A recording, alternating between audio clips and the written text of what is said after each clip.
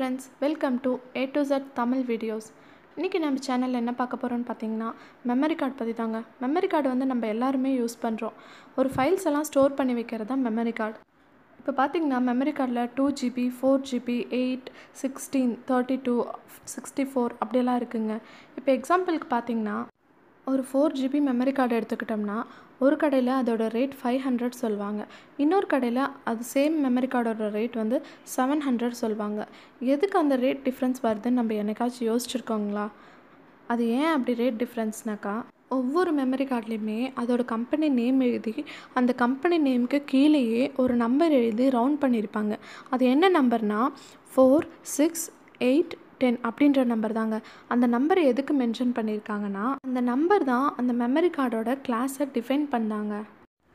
அந்த நம்பர் தான் ஒவ்வொரு மெமரி கார்டோட டேட்டா ட்ரான்ஸ்ஃபர் ஸ்பீடோட கோட் இப்போ எக்ஸாம்பிளுக்கு பார்த்தீங்கன்னா ஃபோர்னு எழுதி ரவுண்ட் பண்ணியிருந்துச்சுன்னா அந்த மெமரி கார்டு வந்து ஃபோர் எம்பி பர் செகண்ட் அப்படின்ற ஸ்பீடில் ஃபைலை ட்ரான்ஸ்ஃபர் பண்ணுங்க.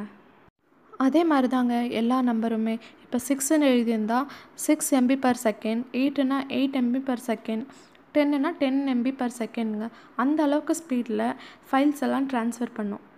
ஸோ இனிமேல் நம்ம அந்த கடையில் விட இந்த கடையில் ரேட் கம்மியாக கிடைக்குதுன்னு வாங்காமல் நம்மளுக்கு எந்த ஸ்பீடில் ஃபைல்ஸ் எல்லாம் ட்ரான்ஸ்ஃபர் ஆகணும்னு நினைக்கிறோமோ ஃபோர் எம்பியோ சிக்ஸ் எம்பியோ எயிட் எம்பியோ அதை பொறுத்து அந்த மெமரி கார்டில் இருக்க நம்பரை பார்த்து வாங்கணுங்க.